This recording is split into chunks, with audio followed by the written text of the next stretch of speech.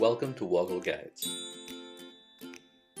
In this guide, I'll explain how to find an email within a certain date range in the Gmail mobile app.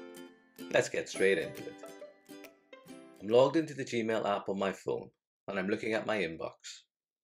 Whenever you're searching for an email in the Gmail app, your best friend is always a search bar at the top of the Gmail inbox.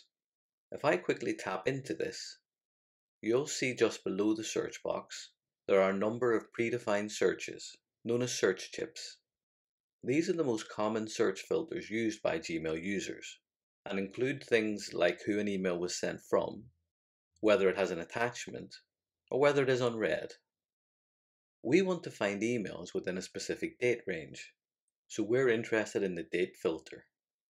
Let's tap on that once to choose it.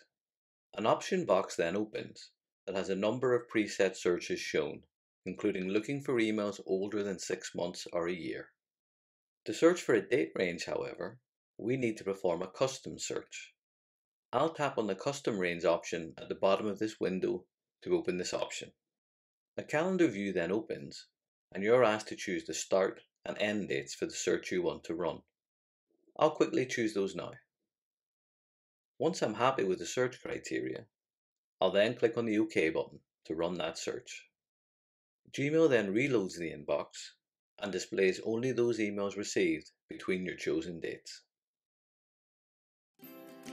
If you found this Woggle guide useful or learned something new, please like or subscribe for free so that other people can find this guide more easily. Thanks for watching and do look after yourself until next time.